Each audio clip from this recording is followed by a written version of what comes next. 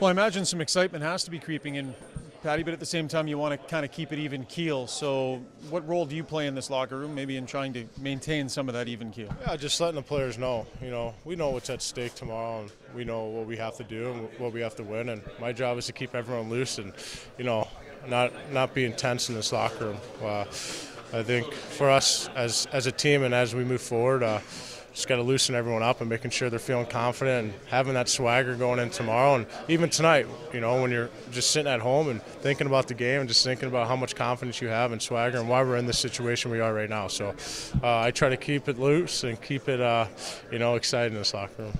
Along those lines, we've seen you get pretty deep into some beards over the years, but you're in the Stanley Cup final. It's been a while now. How's it feeling? It's as bushy as I've seen it. It's disgusting, to be honest with you, Ryan, but I don't know what else. It's making my face look chubby. I don't know. You haven't even touched it, though, right? No, I haven't even don't- touched there's it. No trimming. There's, There's, no. there's no nothing. It's ugly. I think it's connected to my neck here and my my chest here. So, but it's really bushy right now. But uh, hopefully, we, hopefully uh, this thing can.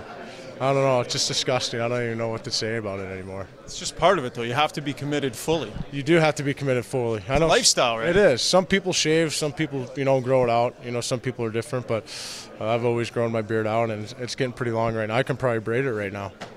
Thanks, Patty. Appreciate it. Thanks, Ryan. Appreciate it.